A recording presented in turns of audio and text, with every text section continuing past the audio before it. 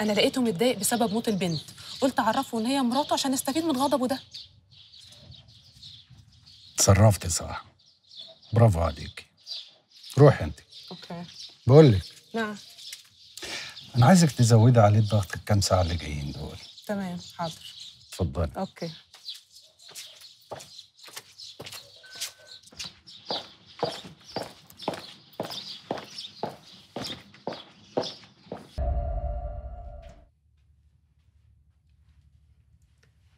حمزة كان يحب دايما يشرب معاك الشاي.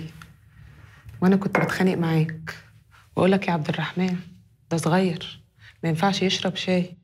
تقولي سيبيه يا جميل سيبيه يشرب معايا الشاي. عارف يا عبد الرحمن كان يجري عليك من الباب كأنك كنت مسافر بالظبط.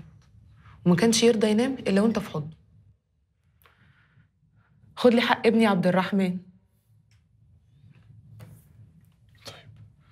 اهدي بس. ما تقوليش اهدي. خد لي حق ابني. أنا ابني حقه مش هيروح حضر. دم ابني مش هيروح حضر يا عبد الرحمن.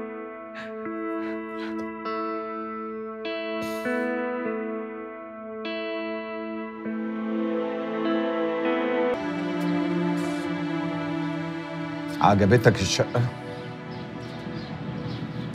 معلش أنا اخترتها محذوفة حبتين. علشان تبقى بعيدة عن العين وتقدر تاخد راحتك فيها.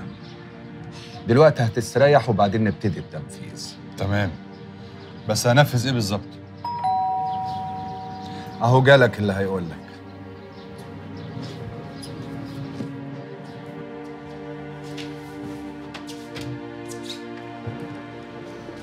اخرت عليكم؟ تعالى يا وهيب. لا ما تأخرتش. اتفضل.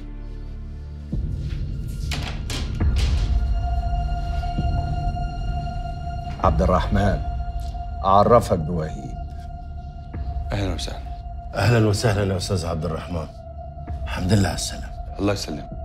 وهيب ده بقى الراجل بتاعنا في مصر. قلت له ولا لسه؟ لا لسه. طب تسمح لي أقول له أنا؟ اتفضل. قلبي معاك يا أستاذ عبد الرحمن أنا عارف إن أنت عايز تنتقم من اللي قتل ابنك ومراتك وأنا هساعدك. مين ده؟ ده واحد من ناس كتير كانوا السبب في قتل ابنك ومراتك. وخلوا مراتك الست الغلبانة تقعد تبكي ليل ونهار على ابنها. عرفت مين دول؟ عبد الرحمن أي حاجة محتاجها هتلاقيها في البيت هنا. المهم دلوقتي تستريح وبكرة نبتدي شوية تدريبات كده. تدريبات؟ آه.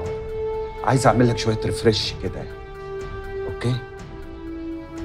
تصبح على خير. يلا يا وهيب لو عوزت أي حاجة كلمنا يا أستاذ عبد الرحمن.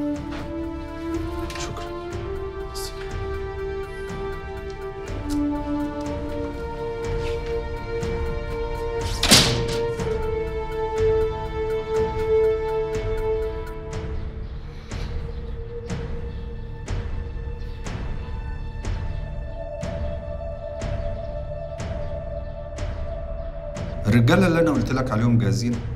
جاهزين؟ وأنا مش هخليهم يتحركوا من قدام البيت. تمام.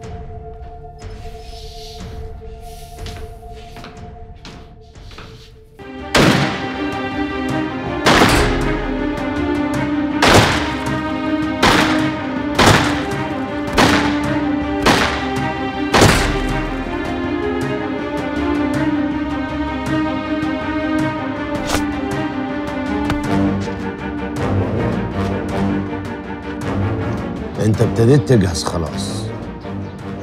إيه ده؟ الملف ده فيه كل المعلومات اللي ممكن تحتاجها عن عادل الويلي. عايزك تراقبه وتعرف كل تحركاته.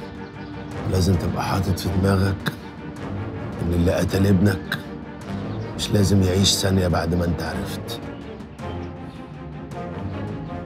أنت متأكد يا وهيب بين إن عادل ليه علاقة فعلا بقتل ابني؟ ليه بس كده يا عبد الرحمن؟ حاسس بيك. عايز اساعدك. عايزك تاخد طارق بإيديك. يا وهيب أنا مش عارف أشكرك إزاي. أنا حاسس